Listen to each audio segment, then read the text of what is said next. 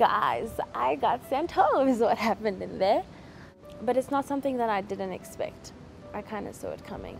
It was one of those things that, you know, you can't force a connection. And, you know, as much as everybody else got one on one time, for me it was more of like a physical dance type of thing. So for me, I could tell that I was probably, you know, gonna go home tonight, which is fine. It's not a train smash because everything does happen for a reason, and maybe I wasn't just meant to be here, you know?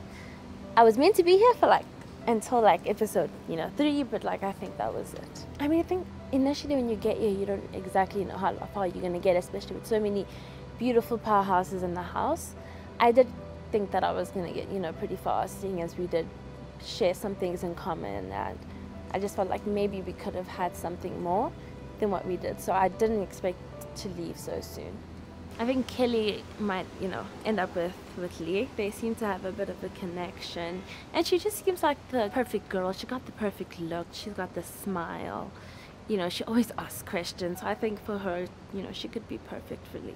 I don't mean to say it in like a mean or bad way, but I think the worst person would be Tash because she's very negative and she harbors a lot of negative feelings and emotions towards everything and towards Lee. So I think she wouldn't be the best fit for Lee because he seems more positive and down to earth and sweet.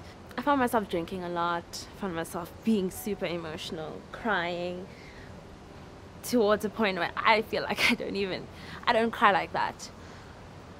I think it was just, I was having mixed emotions, I was angry, and this is all before we even did this rose ceremony. A part of me just knew, you know, that I wasn't gonna get as far as I really, really thought I would coming here. I was so disappointed because I mean, like, this is just like, I feel like I'm about to go on stage and just rock it and just dance or sing like something like a Beyonce type of thing. And I just feel like Lee didn't get to see it and I was very disappointed that I felt like I dressed up in vain like it was all for nothing. So I'm just more than anything if I'm upset that's why I'm upset. Any last words? So this is to my girl Shells.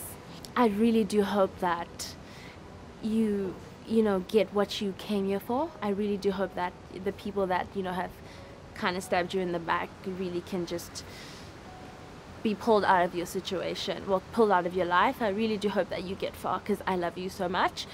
Lee i understand why you didn't pick me. It's okay. I'm not angry or i don't harbor any feelings. I do believe that you know you can't force anything and everything does happen for a reason. So good luck and i hope you find your one at the end of the show